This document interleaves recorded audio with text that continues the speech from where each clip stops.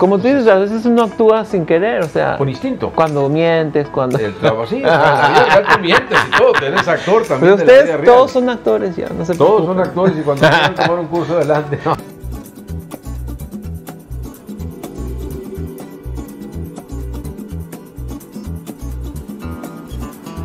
The video is about to start. Don't forget to subscribe and turn on notifications. There we go! Y hola a todos una vez más a un capítulo más de Gustavo's World en español. Y aquí tenemos a nuestro invitado especial, pero a su coanfitriona Burbujita. Hola a todos. Y hoy estamos con el señor Rubén Morales.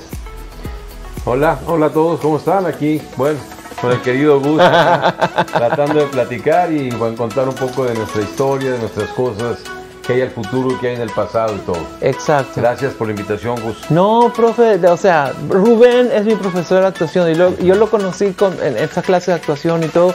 Y fue muy interesante porque gracias a él, pues todos nosotros estamos aprendiendo todo el tiempo y, y es un gran honor formar parte de su vida y que esté acá con nosotros. Ahora, Rubén, empecemos con lo de la productora. O sea, ¿qué, qué, qué es esto de la productora? Bueno, mira, ahorita actualmente entré en este medio ahora por el lado de produciendo, produciendo con los muchachos del taller de actuación y tratando ahorita de, de meternos ¿no? en la cosa, lo que es Netflix, lo que es Amazon, lo que es. Hulu y tratar de, de empezar mi carrera como productor, como director, sobre todo apoyando a muchos talentos nuevos. Wow, qué bonito, qué, qué ambicioso proyecto, pero yo acabo de ver algo y no es tan ambicioso porque se está, está volviendo realidad. Que Rubén, cuéntanos, ¿dónde naces? Bueno, yo nací en Vallehermoso, Tamaulipas, en México, y este, nací un 11 de septiembre, que es una fecha 9-11. Así es, 9 Wow. 11, una fecha muy, muy memorable y muy fuerte para los Estados Unidos.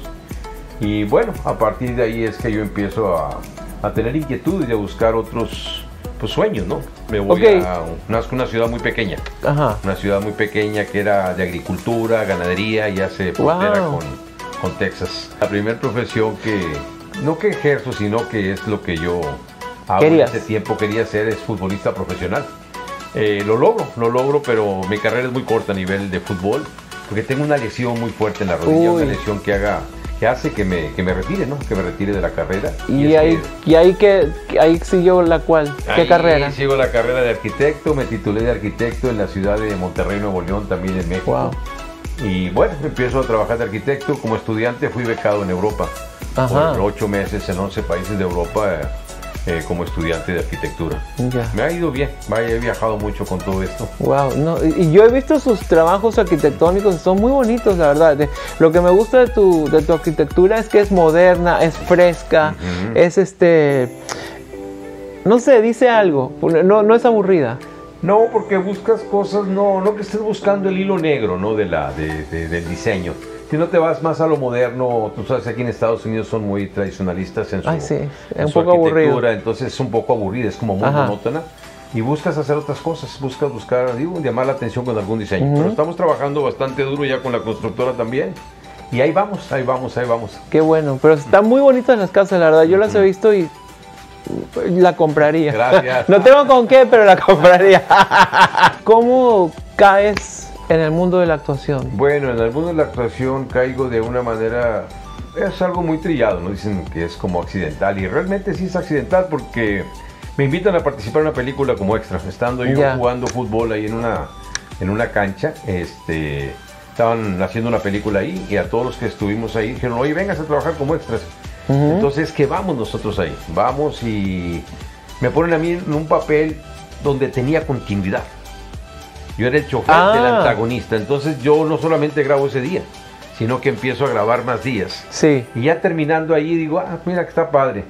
Y estando en la constructora, a la vuelta estaba el sindicato de actores. Entonces estando en- había un restaurante en el centro y ahí comíamos los actores, y comían los actores y los arquitectos. Ya. Y había una actriz muy famosa en ese tiempo, María Eugenia Llamas, que había trabajado con Pedro Infante. Y este, ella me dice, ¿tú eres actor? Yo digo, no, yo no soy actor, yo soy este arquitecto. "Eh, no, debería ser una prueba, de verdad que tienes el tipo. Yo sé, algo me llama la atención de ti que tú eres actor, tú tienes algo en el medio. Le sigo la corriente y me da un monólogo. Me dice, te espero el sábado en tal teatro y vamos a ver qué pasa. Ok, perfecto. Le doy la tarea de memorizarlo, llego al teatro y ya me sube ya al escenario, es la primera vez que me sube a un escenario, me sube ahí y me dice, dilo. Me quedé mudo en ese rato, pero Ajá. empecé a hablar y entonces ellos estaban abajo y no sé, me salió, me salió, me salió y mi- terminando me dijo, te dije que tú eras actor. Y ahí empieza mi inquietud ya como, como actor. Me Ajá. manda a la escuela de actuación de Monterrey, en Monterrey. Eh, se llama Instituto Oriente Anda. ¿Cómo, Televisa. ¿Cómo entraste a Televisa? Eh, yo escuché la historia, pero cuenta, cuenta. Bueno, Televisa llego por mis inquietudes. Llega un grado en que estoy trabajando haciendo teatro en Monterrey y un día pienso, me encanta la carrera, me gustaría vivir de ella. Y le pregunto a mi profesor, oye, ¿dónde, cómo yo puedo vivir de esta carrera?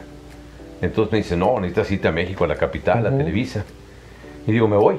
Hasta él se sorprende, ¿de serio? Le dije, sí, voy a ir a, voy a, ir a probar suerte. Sí. Y entonces ya me mandan a la escuela, entonces hago la inscripción, hago todo y después de hacer una fila como de, no te quiero mentir, pero puedo hablarte de a lo mejor de mil personas. Eran cuadras y cuadras y cuadras, Wow. que es la fila que se hace para entrar a la escuela de Televisa, que es el SEA.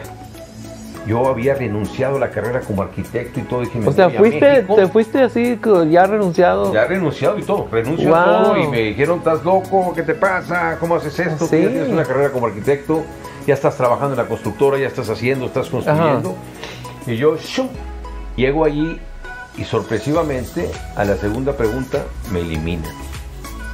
Después de haber hecho Tu colita. como 8, 10, 11 horas de cola. wow, man. Y en la segunda pregunta, que digamos ya eran el minuto, no el segundo 5, el segundo 5, Sí. el segundo 10, me preguntan mi nombre y después de edad. En la edad, stop. Dijo, no, tú no puedes estar aquí porque aquí hay un límite de edad. Entonces yo les pido la oportunidad, oye, pues dame chance, dame chance de, de, no, no, aquí no hay oportunidad, si aquí no hay oportunidad, o sea, te bajas por favor. Y pum, me bajé. Wow. Y estando parado ahí, se me arrima un, un- en aquel tiempo un señor. Me agarra del hombro y yo volteo a verlo y me dice él, usted es actor, ¿verdad? Ajá. Yo había recordado a Victoria Llamas que una vez me dijo, tú eres actor, dije, no, yo soy arquitecto. Pero cuando ese señor me preguntó face to face, tú eres actor, yo dije, sí, soy actor. Fue la primera vez que yo estuve convencido ¿De qué eras que soy actor. Ajá. Y él, va perfecto, me dice, te invito a participar en una telenovela. ¿Cómo? Sí, sí, vete ahorita con fulana, mangana y dile que vas de parte mía, que te dé un personaje. Pero le digo, o sea, yo no conozco aquí, no sé ni de quién usted me está hablando. Y él le habla a una persona y me dice, ten, llévalo. Así empieza mi carrera como actor en televisión. Wow. Pero bendecido y con suerte. Claro, mucha suerte porque bendito Dios, a partir de esa fecha hasta el día de hoy, un poquito más adelante, que tengo trabajo, no he parado de trabajar. Wow. Televisión, cine, comerciales, eh, fotonovelas, eh, telenovelas.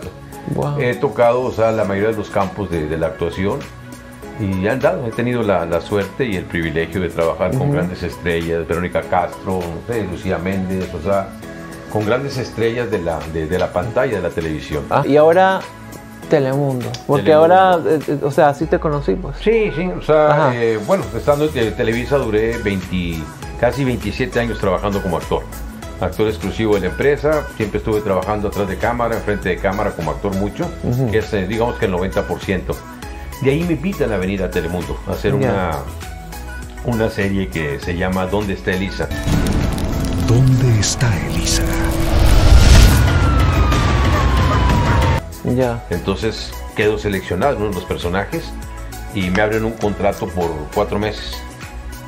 Entonces vengo aquí a Estados Unidos de Televisa para acá, a. Telemundo, eh, firmo mi contrato por cuatro meses y ese contrato de cuatro meses llevo 11 años, Gustavo. ¿Cómo, cómo Rubén Morales, el actor, empieza a ser como este asesor de actores detrás de cámara? O sea, ¿cómo surgió eso? O sea, ¿cómo, ¿a quién se le ocurrió? Tú quiero, quiero que tú me los este, asesores o que lo sí, Lo que coaches. pasa es que siempre es de- esa, intuición que tiene uno de la experiencia y Ajá. a veces la dirección misma. Ajá. Entonces eh, los actores, no haz esto, haz lo otro, mira, cuidado con esto, cuidado con lo otro. Siempre estaba yo como muy atento al trabajo de los actores. Ya. De alguna manera me había preparado el profe Sergio Jiménez, que en paz descanse, Ujú. y la maestra Adriana Barraza me habían preparado, ¿no? O sea, las Ujú. clases de ellos yo aprendí mucho. Entonces entendí mucho que era cómo formar un actor desde un punto de vista práctico, no teórico, sino práctico, o sea, inmediatamente que entrara en los planos profesionales y empiezo a entender muchos entrenamientos. Y se dan cuenta en Telemundo. En. Telemundo, después de que hago la quinta telenovela seguida, la empresa me dice, este, ya no puedes hacer otra telenovela con nosotros, pero te vamos a contratar para que estés atrás de cámara. ¿Te quieres quedar con nosotros? Dije, adelante. Pero ¿por qué no podías hacer? Porque ya tu cara se había visto mucho. Sí, ¿o qué? porque yo hice cinco telenovelas, una tras otra, en Ya. dos años. Del capítulo 1 Oh. al capítulo final. Cinco novelas, cinco una tras Ya. otra. El mundo tiene ahorita como ese espíritu, ¿no? De, de lanzar mucha gente joven. Ajá. Entonces me ha tocado trabajar también con mucha gente joven y pues bueno, aquí Pero yo les digo una cosa, este señor acá donde ustedes lo ven como asesor de actuación, él puede hacer actuar a una piedra. O sea, de verdad, él, él- tú le dices, quiero que esta piedrita me haga tal cosa y él hace que la piedra haga. No sé cómo, cuál es tu secreto, pero es, es un don, ¿no? pues, yo creo que lo que pasa es que si tú lo montes desde un punto de vista teórico, la gente se confunde un poquito. Ajá. La teoría siempre nos lleva a ese lado de, de pensar demasiado o intelectualizar mucho algo, Claro. algo tan común, tan fácil que tú puedes lograr, porque a final de cuentas actuar es vivir una vida de una persona, Como tú dices, a veces uno actúa sin querer, o sea, con instinto. cuando mientes, cuando... El trabajo, sí, o sea, en la vida real tú mientes y todo, eres actor también. Pero de la vida ustedes real. todos son actores ya, no se Todos son actores y cuando quieran tomar un curso adelante. no.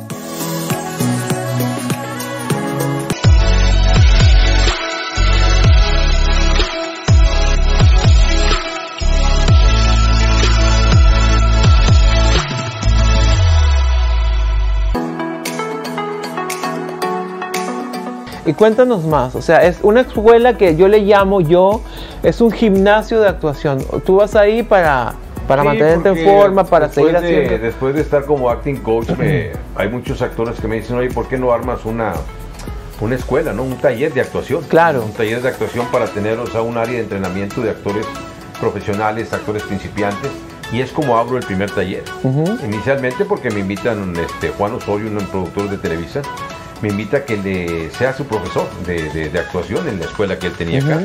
Y de ahí me, me- me independizo, me independizo y pues, armo mi escuela, la armo mi escuela y actualmente sigo teniendo la que es Acting Workshop Rubén Morales. Que ahora vamos a poner todos los links de la productora, de la escuela, ya.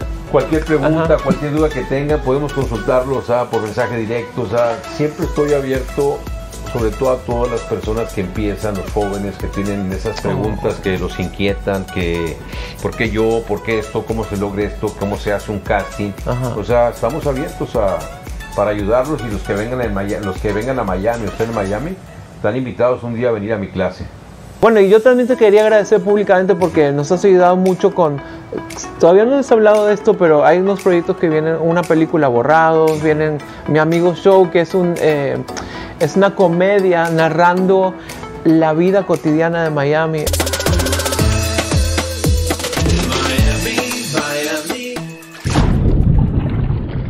Papi, what are you doing here? Bobby. Abby? How do you guys know each other? Side chick. A, a modo de comedia, donde Exacto. donde tú pues tienes un personaje, donde yo también, o sea, y es muy bonito porque él está siempre dado a, a- a colaborar, él está dado a, a su día libre, pues no, vamos Gustavo, lo hacemos, o sea, es muy, muchas gracias Rubén, No, de no, verdad, gracias a ustedes que me invitan de alguna manera, o sea, acuérdate que uno nunca deja de aprender. Ajá. Y más cuando estás con jóvenes que tienen muchas ganas, pues no dejas de aprender. Es Tú ves el espíritu de ellos, te contagian, o sea, y eso a mí me, me gusta. Yo, yo esto lo hago por pasión, yo no lo hago. Es difícil decir no lo hago por dinero, porque necesito dinero para vivir. Claro, todos. Por supuesto, ajá. pero me gana más la pasión que la economía, porque muchos trabajos, o sea, tú mejor que nadie lo sabes, lo Sí. hacemos gratis. Exacto. Y dedicamos nuestro tiempo libre, que es el domingo, el día de la familia, de repente, vámonos a grabar y grabamos. y grabamos. horas, grabamos 12, 14 horas en el día. Exacto. Que nos lleva todo los domingos. Entonces, de alguna manera es como, como entrar en otra plataforma, ¿no? En otros sueños, Sí. como buscar cosas y a la vez cooperar también con ustedes. Cooperar en el sentido de, de apoyarlos con la experiencia de uno. Pues ustedes también aprenden de alguna manera, aprenden a hacer cámara, aprenden a hacer luces, aprenden a hacer sonido, aprenden cómo es una producción, cómo Exacto. armarla, cómo es un día de grabación, cómo convocar, o sea, toda esa logística que existe para, para una producción que a veces se ve como imposible hacerlo y la verdad es lo que necesitas son ganas. Bueno, y un buen proyecto también. Ahora ya en detalle, ¿cómo se llama la productora? Bueno, se llama el Varillero Films. Y ¿Qué quiere decir varillero? El O sea, varillero- eso yo lo vi, pero no sé qué. Ahora te pregunto. Ok, el varillero, What? porque así le decían a mi papá. Ah, Mi papá cuando era vendedor de ropa en, en los pueblos, él traía, Ajá. traía un palo aquí Ajá. y de un lado traía pantalones y del otro lado traía camisas. Y se iba caminando por todas las calles este, eh, vendiendo ropa, Ya, vendiendo ropa, vendiendo ropa. Entonces lo que agarraba aquí era una varilla. ya. La varilla donde él ponía todos los Y ganchos. entonces del- él era el varillero. ahí viene el varillero, decían, Ya. ahí viene el varillero. Entonces en honor a mi padre, de hecho mi constructora se llama igual. Ay, cosita. El, el varillero Cosita. Construction. Y mi, mi casa productora también se llama El Varillero Films. ¿Qué es lo que vas a hacer con esto? O sea, ¿qué, qué es lo que, qué es lo, cuál es el, el propósito de esta productora? Bueno, el propósito básicamente, digamos, lo más fuerte es promover talento nuevo. ya, Promover talento nuevo y de alguna manera, o sea, hacer esa conversión, ¿no? Ahora como productor y director de, de mis propios proyectos, Ya. pero trabajando con gente nueva, la mayor parte, digamos. De repente sí tener un actor con nombre o dos como actores claro. invitados. Una estrellita pero- por ahí no cae Sí, mal. pero o sea, básicamente es trabajar con gente nueva y proyectos frescos, o sea, tratar de meternos al mercado de Netflix, de Amazon, de Hulu. Eh, la puerta que nos abran, la puerta que Ajá. nos abran, ahí estaremos toque, toque, toque puertas hasta que se abra Alguien una. nos va a abrir. Eso, no lo duden, pronto nos verán por, no sé por dónde, pero por ahí nos van a ver. Qué lindo. Un, con- un consejo a los actores nuevos, a la gente que está empezando, o por ejemplo gente que no ni siquiera pensó que, que quería pensar en esto. Eh, por ejemplo, que ahora ven esto y dicen, "Oh, yo, yo quizá podría ser... co-". Él dice algo muy bonito, por ejemplo, él dice que, que no hay edad para actuar. Por ejemplo, dice, a veces los fetos actúan. Claro, a ver, no han nacido. Hay, hay- hay- este, criaturas que están dentro del vientre y ya están filmando. Ya Exacto. están filmando sobre ellos, están como, como, digamos, como un personaje. Ajá. Ellos están viendo la vida, su desarrollo y todo, y tienen una naturalidad de actuar a final Ajá. de cuentas. Pero a veces todavía no naces y ya eres actor. Exacto. O por ejemplo, ya estás a un pie de, de- de- a un pie del más allá y también porque También. se necesitan abuelos, tatarabuelos. No, y en documentales también, en documentales Sí. se ocupan muertos. ah, Muertos reales.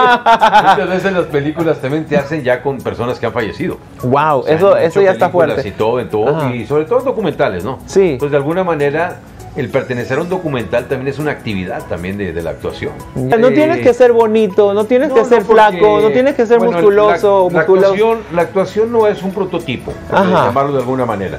La actuación son muchos tipos. Son bebés, son eh, niños, son este güeritos, negritos, eh, prietitos, altos, chaparros, gordos. Chinos. Se requiere en la actuación de todo, viejitos, o sea, chinos, lo que sea. No importa el físico. ¿Por qué? Porque en la vida real no importa el físico.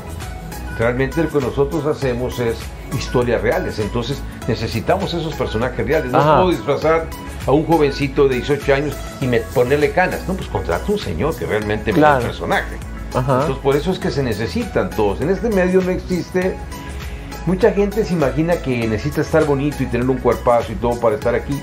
No, eso no es cierto. Inclusive vean ustedes en las películas, en las series, donde no todos son bonitos. Hay todo tipo de, de- de- de personajes, hay muchas estrellas, como el caso te... Ese, ese es mi cuento favorito. Eh, hay, un, hay un actor eh, que a nivel mundial está en los cuernos de la luna, digamos. Él empezó como taquero, más bien él era taquero, era empleado de una taquería. Wow. Él ponía una, una pantallita ahí un lado donde estaba él, tas, tas, tas, con la carne y preparando los taquitos y atendiendo ya a todos los clientes y todo. Y veía la pantalla. A todos les decía, un día voy a estar ahí, un día voy a estar ahí. Mm. La gente lo veía, dice, lo veían físicamente y dice, Ajá. pensaban que estaba loco. Sí. Ahora él, Gustavo, él es uno de los grandes actores a nivel internacional. Yo a ellos les recomiendo siempre algo muy importante. Si quieres ser actor, tienes que empezar por prepararte. Actuar muchas veces la gente lo ve como un juego, como un juego de voy, me divierto y esto y aquello. No, No, no, no. actuar es una profesión, es un Claro. oficio muy complicado. Prepárense.